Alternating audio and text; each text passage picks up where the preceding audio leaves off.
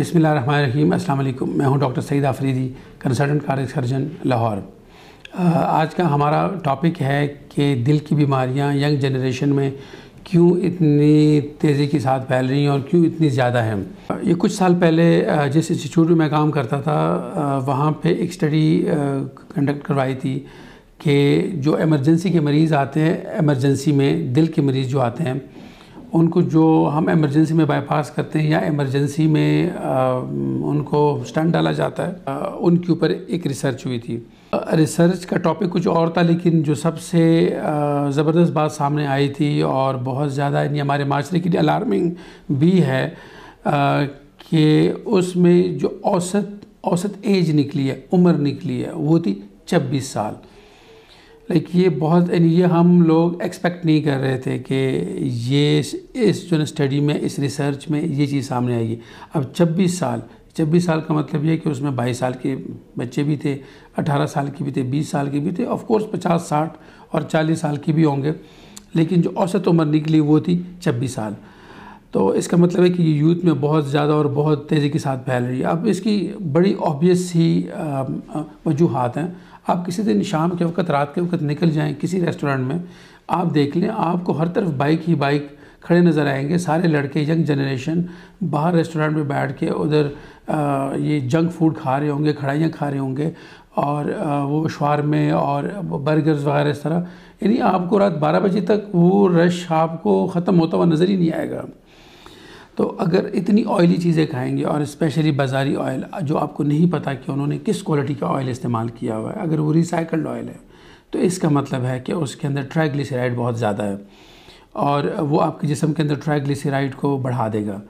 तो और वो सबसे मेन वजह है दिल की खून की शरियानों को बंद करने का और जिसम के अंदर ट्राइग्लिसराइड बढ़ने का।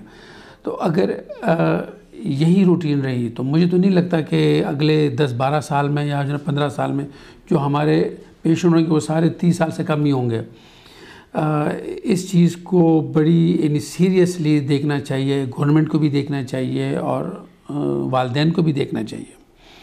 कि अपने बच्चों पे कड़ी नज़र रखें कि वो यानी कोशिश करें कि घर का बना हुआ खाना जो साफ़ सुथरा होगा ऑब्वियसली घर में कोई ख़राब चीज़ नहीं लेके आता कि उनके लिए इनको वो दिया करें और आ, उनको बल्कि इस चीज़ पे हम कायल करें कि वो घर के अंदर ही घर का खाना इस्तेमाल करें। चलो महीने में एक आध दफ़ा हो जाता है वो ठीक है समझ आती है बात लेकिन जो रोज़ वाली बात होती है वो ठीक नहीं है। और गवर्नमेंट को ये चाहिए कि वो रेस्टोरेंट्स के ऊपर या जो इम्पोर्टर हैं, उनके ऊपर स्ट्रिक्टली इस चीज़ के पाबंद करें कि वो बाहर से रिसाइकल्ड ऑयल इम्पोर्ट ना हो। और अगर वो कोई किसी तरीके से ले भी आते हैं तो मेक श्योर sure करें कि जो रेस्टोरेंट्स में या होटल्स में जो लोग ऑयल इस्तेमाल करते हैं या घी इस्तेमाल करते हैं, उसकी क्वालिटी अच्छी हो, वो ये रिसाइकल्ड रिसाइकल्ड घी ना हो। दूसरी एक जो चीज़ है ख़ुराक के बाद वो ये है कि आ, आपको ग्राउंड नज़र आएँगे कि ग्राउंड में बच्चे आपको कम नज़र आएँगे और आपको वीडियो गेम्स खेलते हुए बच्चे ज़्यादा नज़र आएँगे। एक साल का बच्चा नहीं होता हाथ में टैब और मोबाइल होता है और वो जैसे जैसे खड़ा होता है वो चीज़ उसके हाथ में ही होती है। और आ, उनको कोई नहीं इंटरेस्ट कि वो लोग फ़ील्ड में जाएँ ग्राउंड में जाएँ या वो कोई इस तरह फ़िज़िकल एक्टिविटी करें। फिर जब उनका वज़न बढ़ जाता है फिर उनको मैट्रिक या एफ़ या कॉलेज में याद आता है तो फिर वो जिम के दो चार दिन के चक्कर लगा लेते हैं लेकिन वो भी ख़त्म हो जाता है। वो भी शौक़ ख़त्म हो जाता है। हमें याद है जब जब हम लोग स्कूल में थे तो हमें तो घर वाले ज़बरदस्ती ग्राउंड से लेकर आते होते थे। शायद उस ज़माने में वीडियो गेम्स और ये चीज़ें ज़्यादा नहीं थी।